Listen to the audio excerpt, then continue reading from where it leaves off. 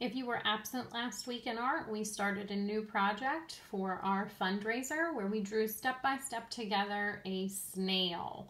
So you're going to follow along today with your special paper, a pencil, uh, a circle to trace, and a clipboard.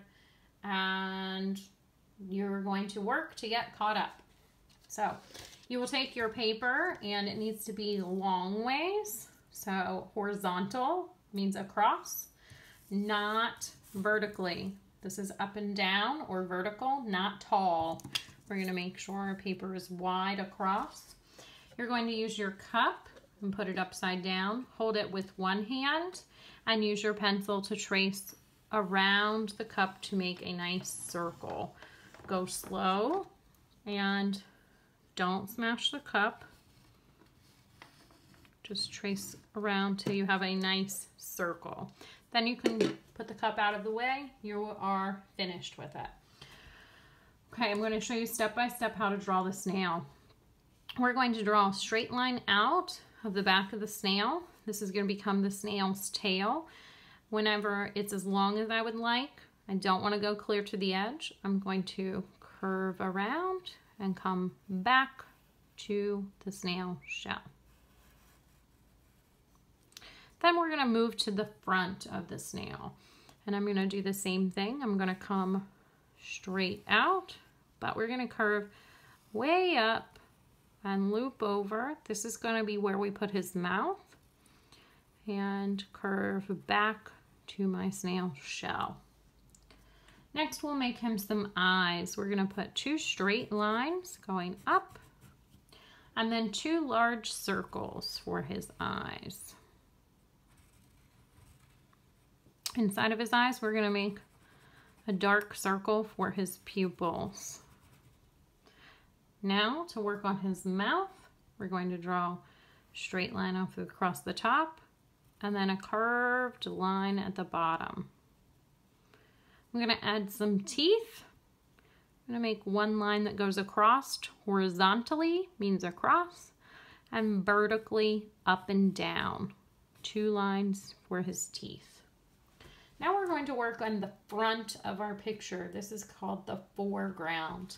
I'm going to make a zigzag line to make a patch of grass in the front. The other thing I'm going to make on this other side in the front is going to be two rocks. Rocks are easy. All rocks look different. We're just going to make two lumpy shapes. One and two. Next, we're going to add the horizon line. The horizon line is where the sky meets the ground. I'm going to put my horizon line behind his shell. So I'm going to draw a straight line across.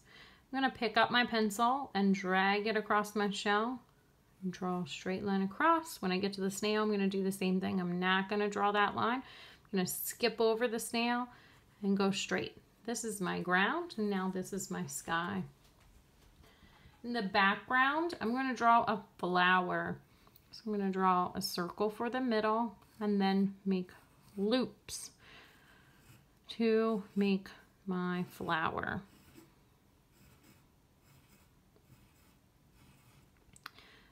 Okay, now I have the top of my flower. I'm going to draw a curved line down to the ground for my stem and then a curved line from the ground back to my flower. I'm to add one leaf to my flower. I'm just going to curve out and then back to the bottom. Put one line in the middle. And I'm going to go ahead and add another patch of grass back here in the background. The background is the back of our picture. The foreground was the front of our picture. So another zigzag line for a patch of grass. If you have room, you can make another patch of grass in front of your snail with another zigzag line. Okay, now I'm ready to use the crayons. Everything on your paper should be traced with a black crayon. So we're going to trace all of our lines with a black crayon.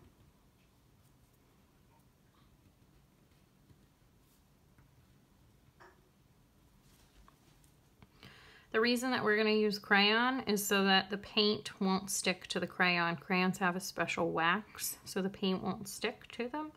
So our lines will still show up and be very nice when we paint.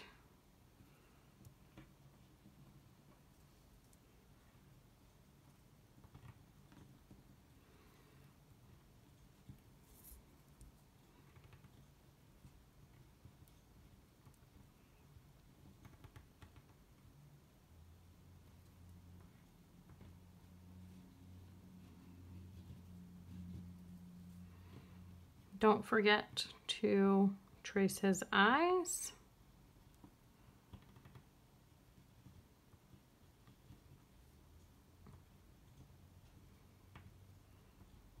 And his pupils, the dark parts of his eyes. And his teeth. A lot of people forget to trace over the lines in the teeth. Okay. Next, we are going to put a spiral inside of our snail shell. You can make your spiral any color that you would like.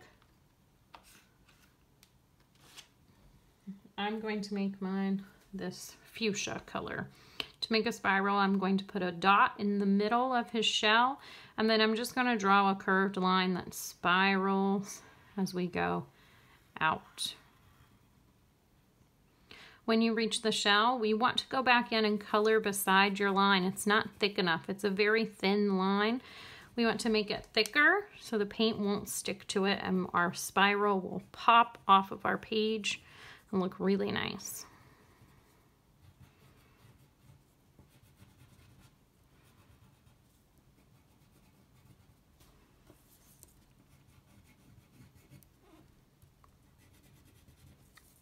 We just want to make our line thicker.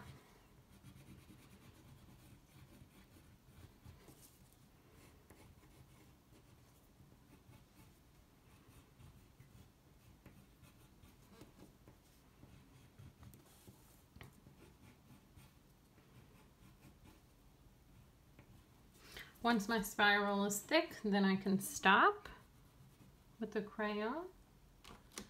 Then I'm going to use green you, I gave you a dark green and a light green. And you can color just the small things that we made. So the patches of grass, the flower stem and leaf, and your rocks. I'm going to outline mine in green first. And then I'm going to use some green to color them in because they would be very hard to paint. They're pretty small.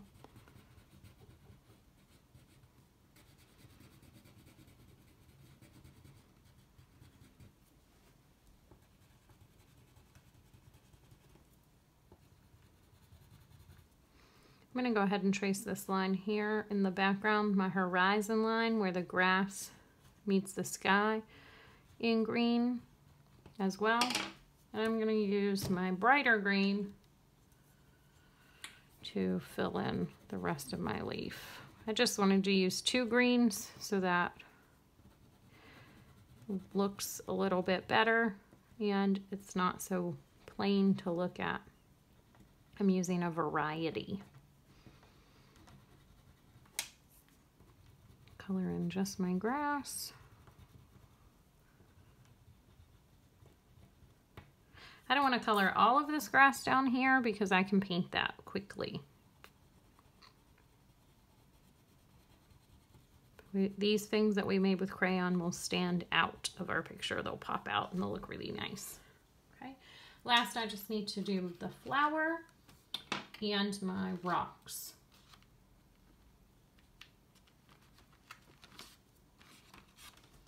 I'm going to use brown and gray for my rocks. It's up to you what colors you want to use. So one rock I'm going to make brown.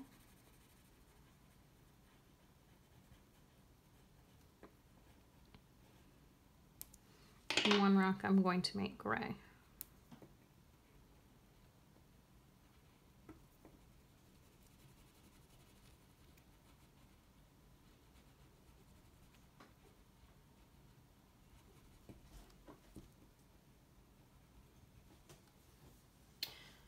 And last is my flower.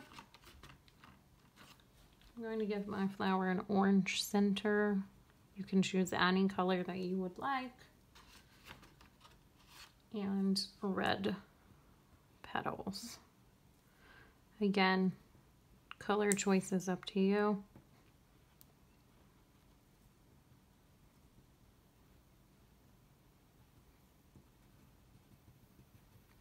We're doing our best work, making sure that we have excellent craftsmanship.